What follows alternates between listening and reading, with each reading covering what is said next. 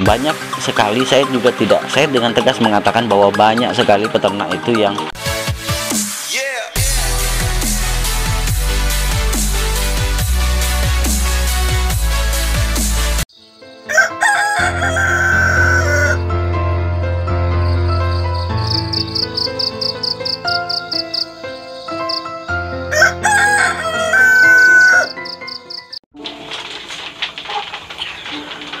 Assalamualaikum warahmatullahi wabarakatuh. Selamat pagi bosku. Kembali lagi bersama saya di sini SEO bakal peternak dan mungkin dari berapa hari ya Mungkin ada dua minggu lebih saya tidak upload video Tapi kita ketemu lagi dan saya usahakan Kita dalam setiap minggu akan tetap bersua. Dan di video kali ini saya akan bersharing tentang sukses ternak ayam kampung dan beberapa alasan kenapa rata-rata sahabat bakal peternak yang sudah lama mengikuti metode bakal peternak dan mengaplikasikannya itu rata-rata bisa sukses dan bahkan ada yang cash flow-nya atau perputarannya siklus penjualannya itu sudah ada yang mingguan bahkan ada yang per berapa hari sekali bisa jual ayam. Artinya sudah mulai menunjukkan hasil yang sesuai harapan. Jadi ada beberapa alasan bosku ya kenapa video ini saya ulas dan saya bahas. Karena banyak sekali komentar-komentar yang boleh dikategorikan itu bisa dibilang negatif lah ya. Terutama yang pesimis dengan bisa nggak sih sukses ternak ayam kampung? Bisa nggak sih ternak ayam kampung ini membuat kita hidup kita itu berubah atau bisa membawa memberikan penghasilan? Atau yang tadinya sekedar hobi kemudian bisa menjadi penghasilan utama? Nah, di bakal peternak, saya tidak mengatakan bahwa channel bakal peternak ini merupakan solusi satu-satunya tidak, tetapi di bakal peternak ini adalah rule-nya. Jadi saya tidak katakan bahwa cuan kalau kita mau sukses ternak ayam kampung itu di bakal peternak tetapi minimal itu rule supaya sampai itu nggak salah jalan di awal. Dan mengingat bahwa channel bakal peternak ini memang dihususkan buat pemula maka saya katakan bahwa rule awal ketika sampean mau memulai itu adalah di channel ini. Dan itulah alasannya kenapa pemula-pemula yang mengikuti channel bakal peternak dari sejak dua tahun atau tiga tahun yang lalu itu banyak sekali yang berhasil dan sukses sekarang itu ada beberapa alasan bos. Jadi di sini saya ingin sedikit membuka ya. Alasan kenapa channel bakal peternak itu bisa membantu sampean menuju ke arah yang sesuai yang sampean harapkan. Yaitu bisa sukses seperti orang-orang yang tadinya ternak mungkin beberapa ekor puluhan ekor bisa menjadi ratusan bahkan menjadi ribuan ekor. Bila sampean benar-benar mengikuti acuan yang sebenarnya mengikuti rule yang sebenarnya ketika di, di awal sampai sebagai pemula itu mengikuti bakal peternak Oke, baiklah bosku. Sebelum kita masuk ke pembahasannya sambil bersharing ya malam kita habis kasih makan ayam, jangan lupa like video ini sekiranya memberi manfaat dan jangan lupa share ke rekan peternak yang lain agar mereka juga tahu apa yang kita ketahui. Oke baiklah bosku. Ini kebetulan malam saya baru pulang dari kantor dan uh, kita beri makan. Seperti biasa saya langsung ke kandang memberi makan nih calon-calon indukan dan ini tidak saya jual. Oh ya ini juga terkait dengan beberapa komen Bang sampean jual telur nggak? Bang sampean jual indukan nggak? Jual ayam pembesaran nggak? Jadi saya jawab bos ya di video ini saya tidak jual pulet atau indukan itu yang pertama bos. Yang pertama saya tidak jual indukan. Kemudian yang kedua apakah saya jual telur? Tidak. Kenapa? Karena saya cetak DOC sendiri dan saya tidak jual bibitnya. Yang saya jual apa? Saya yang saya jual adalah ayam pembesaran. Dan itu pun saya akhir dulu. Artinya gini saya filter dulu mana yang layak jual dan mana yang ke depannya layak dijadikan indukan. Jadi tidak semuanya ayam pembesaran itu saya jual Kenapa? Karena ini demi kelangsungan peternakan saya sendiri. Karena walaupun peternakan kita nggak banyak, bos, tetapi juga kita harus memiliki indukan-indukan unggulan atau bakal-bakal indukan unggulan. Jangan sampai nanti dijual semua, akhirnya terputus siklus indukan itu. Wah kacau juga, bos. Ya. Ini berhubung mesin tetas kita ini lagi trouble dan ini mungkin nanti di video berikutnya akan saya share uh, suplai panas itu nggak maksimal bos. Suplai panas tidak maksimal. Alhasil karena ini belum bisa uh, kita masukkan telur maka yang terjadi terjadilah penumpukan telur seperti ini. Tuh. Eh ada yang kecil nih. Nggak tahu ini telur jantan apa telur betina ya? Penumpukan seperti ini. Di dalam juga ada sekitar 40 butir telur. Di dalam rumah sudah saya ini tuh di sana juga ada 20 lebih. Oke kita langsung saja bos ya. Alasan kenapa orang yang rata-rata peternak sahabat bakal peternak yang mengikuti channel bakal peternak sedari awal itu sekarang itu sudah bisa sukses. Alasannya yang pertama adalah channel bakal peternak. Penerapan metode perawatan ayam kampung di bakal peternak itu sangat sederhana. Itu yang pertama bos. Mulai dari bagaimana merawat kandang terus bagaimana merawat DOC merawat pembesaran merawat indukan itu sangat-sangat sederhana sekali. Jadi nggak ada apa sih yang mau dibikin ribet yang mau dibikin repot kalau cara sederhana saja bisa. Ya itu yang pertama kemudian yang kedua metode perawatan di bakal peternak itu terbukti bisa membantu peternak mengurangi angka kematian Nah ini ini yang penting bos karena salah satu kalau kita mau sukses di peternakan ayam kampung ini adalah kita harus sukses dulu membuat ayam kita itu hidup semua. Karena kalau kita nggak bisa membuat ayam kita hidup semua ya. Percuma juga bos.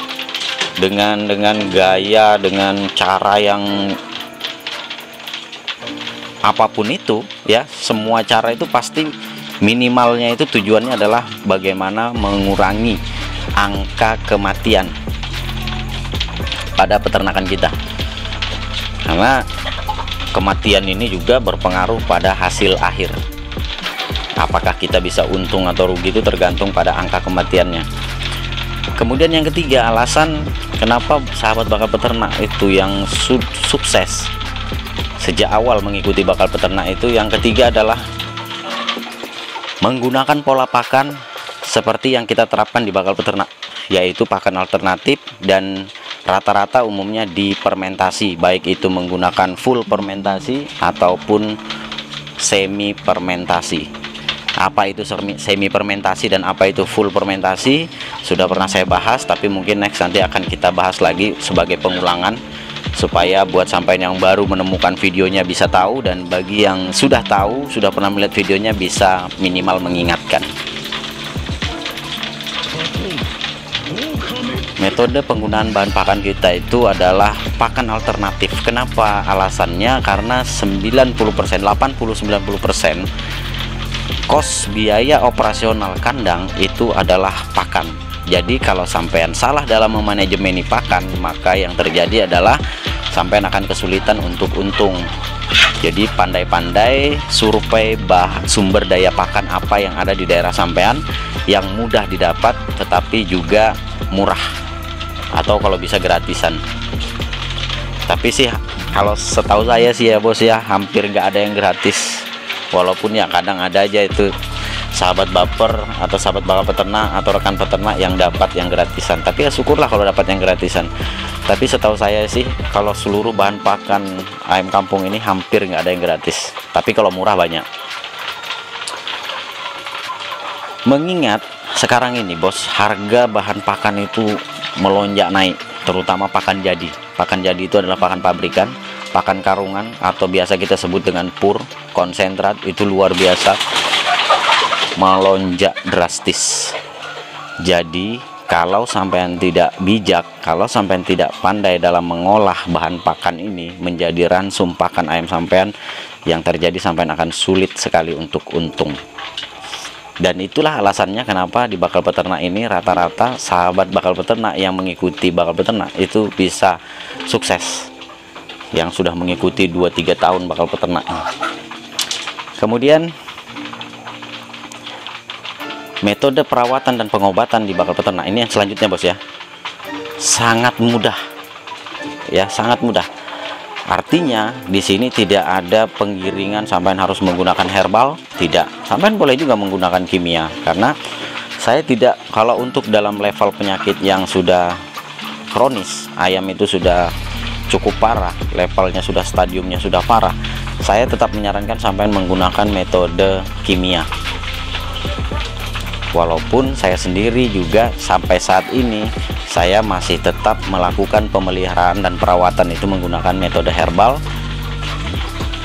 Tetapi saya juga tidak mewajibkan meng, men, untuk melarang sampai untuk menggunakan metode kimia silahkan gunakan kimia atau kalau bisa dikombin dikombinasi keduanya.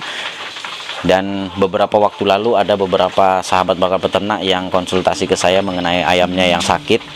Dan alhamdulillah bisa normal walaupun ada juga yang mati. Tetapi semua itu adalah bagian dari ikhtiar dan usaha kita bos supaya ayam kita tetap hidup. Tetapi perlu saya tekankan di sini ayam yang sudah pernah bermasalah dengan penyakit itu biasanya sangat sulit sekali untuk normal kembali ya. Kemudian berikutnya. Berikutnya lagi metode-metode yang diterapkan di bakal peternak itu selain mudah sederhana metodenya itu juga mudah ditiru bos. Kenapa? Karena saya selalu selain selalu berprinsip ilmu itu pengetahuan itu bukan apa yang bikin sampai itu cepat. Kalau cepat instan itu memang banyak ilmunya bos. Banyak ilmunya. Tetapi resikonya juga besar resikonya besar kemudian juga cara pengaplikasiannya juga rumit. Jadi saya tidak suka yang rumit saya sukanya yang simple saja yang sederhana tetapi juga step by step pelan tapi pasti. Bahasa kulonnya slow but sure. Kita pelan tapi pasti. Nggak perlu cepat instan tapi resikonya tinggi. Jadi kalau ada pertanyaan bos saya mau ternak ayam kampung. Apa yang harus saya siapkan? Saya akan tanya balik ke yang bertanya sampean punya apa? Ya saya tidak katakan sampean harus siap ini siap ini siap ini siap ini tidak. Saya tanyakan kembali ke yang bersangkutan ke yang bertanya sampean punya apa jadi saya tidak memaksakan dalam hal ini bahwa sampean harus memulainya dari titik mana, apakah memulai dari titik 0, memulai dari titik 1, dari angka 2, dari 3, tidak. Tetapi dari apa yang sampean punya dulu. Mungkin sampean punya lahan 8 kali 8, punya lahan 2 kali 3, punya lahan di samping rumah, di pinggir tembok atau di pekarangan belakang rumah. Itu semua adalah modal awal dan saya di sini tidak menentukan sampean harus punya ini, harus punya ini, harus punya modal segini tidak itu yang membuat di bakal peternak itu sangat simpel. Tidak dibikin sulit. Ya. Jadi ternak ayam kampung itu sederhana bos. Ternak ayam kampung itu untuk sukses itu sederhana. Yang penting itu selalu saya ingatkan sampai itu cukup disiplin konsisten terus menerus ya. Jadi disiplin tepat waktu. Jadi kalau seumpamanya ini ibaratnya sampai sudah membuat jadwal sampai harus patuhi jadwal itu. Kemudian disiplin dalam penerapan sanitasi biosecurity seperti bersihkan wadah pakan dan minum itu adalah bagian dari disiplin. Kemudian konsisten tidak cukup dengan tepat waktu tetapi juga harus konsisten. Konsisten itu terus menerus terus menerus banyak sekali saya juga tidak saya dengan tegas mengatakan bahwa banyak sekali peternak itu yang rajinnya itu datang-datangan bos rajinnya benar nggak? Sampai kalau yang benar komentar saya ini kata-kata saya ini benar silahkan komen di bawah. Banyak peternak itu yang rajinnya datang-datangan. Begitu datang malesnya ini berhari-hari nggak pernah dicuci. Benar nggak bos? Sampai pernah nggak ngalamin itu? Kalau kita mau sukses itu konsistensi itu wajib. Konsisten itu wajib dilakukan di kandang kita. Kemudian yang terakhir terus mau belajar. Jangan pernah merasa pintar. Kenapa? Karena kalau kita merasa pintar itu sama saja dengan buah yang mulai matang. Buah mulai matang itu apa resikonya mudah jatuh. Jadi kalau kita sudah merasa pintar yang ada itu kita tidak peka lagi dengan ilmu baru selalu menganggap bahwa apa yang kita terapkan itu sudah benar maka percaya saja kejatuhan itu akan tidak lama lagi menghampiri kita tetapi kalau kita tetap low profile kita tetap menerima ilmu tetap merasa kita ini bukan siapa-siapa kita ini tetap harus terus belajar maka percaya saja pelan tapi pasti sukses itu akan datang menghampiri sampean. Karena sejatinya orang yang merasa pintar itu tinggal menunggu detik-detik akhir menuju kejatuhan. Dan rata-rata orang yang sukses itu adalah orang yang rendah hati orang yang selalu mau belajar. Tiga itu aja sih bos. Makanya setiap kali di akhir video kalau sampai menyimak video-video bakal peternak hanya tiga ini yang paling sering saya ingatkan. Disiplin konsisten dan mau belajar. Mau belajar itu dalam artian bagaimana sih supaya nih ayam saya ya. Belajar itu tidak harus dari orang lain bos. Belajar dari pengalaman juga belajar. Menganalisa jadi contoh nih saya kemarin kematian DOC anak ayam 20 ekor. Dari 100 ekor tinggal 80 apa yang menyebabkan 20% kematian anak ayam ini? Dipelajari lagi dipelajari lagi. Ada apa yang salah apa yang kurang? Dipelajari lagi. Nah setelah dipelajari sampai berusaha untuk mencari solusi. Berusaha untuk mencari solusi terbaik Nah, setelah mendapatkan solusi, terapkan, kemudian lakukan perbandingan dengan hasil yang lalu. Oke, Bos ya. Karena sejatinya sukses itu adalah belajar dari kesalahan. Itu juga salah satu cara kita untuk sukses. Jangan mengulang kesalahan yang sama, jangan jatuh di lubang yang sama yang kedua kali. Jadi kalau kemarin kita sudah melakukan kesalahan ya jangan diulang. Cukup kesalahan itu jadikan pelajaran dan jangan dilakukan lagi. Tuh. Kemudian dengan kompleknya permasalahan dalam perawatan ternak ayam kampung ini kita dituntut untuk peka kita dituntut untuk lebih mengawasi atau lebih apa ya kalau saya bilang itu istilahnya itu kita dituntut untuk benar-benar memahami apa sih yang dibutuhkan ayam kita supaya ayam kita itu sehat kemudian produksinya itu juga sesuai dengan apa yang kita inginkan. Apa sih yang dibutuhkan? Nah itu yang sampean cari. Itu yang sampean analisa dan itu yang sampean pahami di kandang sampean. Ingat kandang kondisi kandang setiap kandang itu beda-beda bos. Beda daerah beda kebutuhan ayam. Untuk di daerah yang dingin itu berbeda. Ya kita nggak bisa penerapannya itu disamakan dengan yang di daerah tropis terutama di daerah seperti saya Kalimantan ini daerah tropis. Ini nggak bisa disamakan yang mungkin tinggal di puncak yang hawanya dingin yang mungkin matahari aja jarang muncul ya. Jadi sampean kalau mau sukses ikuti rule yang ada di bakal peternak. Step by step kita sudah punya sekitar 350-an video sampai mungkin tidak perlu ikuti semuanya tapi cari ya apa yang sesuai yang sampai butuhkan. Seumpamanya untuk metode pendalaman mesin tetas sampai tinggal klik mesin tetas bakal peternak atau sampai mau memahami tentang ayam pembesaran cukup klik di penelusuran YouTube tentang ayam pembesaran bakal peternak. Selalu kata kuncinya adalah bakal peternak maka akan keluar video-video yang menyangkut hal yang sampai butuhkan itu. Contoh sampai butuh bagaimana sih merawat indukan atau memilih indukan yang benar sampai cukup ketik indukan bakal peternak. Itu akan keluar semua yang membahas tentang indukan di video atau di channel bakal peternak ini. Oke okay, bosku jadi mungkin itu saja bos ya sharing-sharing kita malam ini. Sebenarnya saya sih buang-buang lelah saja sembari habis ngasih makan ya. Juga lama kita sudah nggak bikin video nggak nyapa-nyapa sampean lagi pengharapan saya tetap sama. Semoga bakal peternak ini bisa terus memberikan motivasi memberikan inspirasi buat sampean untuk terus beternak skala rumahan mandiri nggak peduli sampean memulainya dari populasi yang kecil. Kalau sampean disiplin konsisten dan mau belajar percaya saja sampean juga akan bisa sukses memiliki ratusan bahkan ribuan ekor ayam dalam waktu yang tidak terlalu lama Oke bosku, semoga bermanfaat. Sampai jumpa di video-video kita berikutnya. Assalamualaikum warahmatullahi wabarakatuh. Salam sukses dari Bakal Peternak.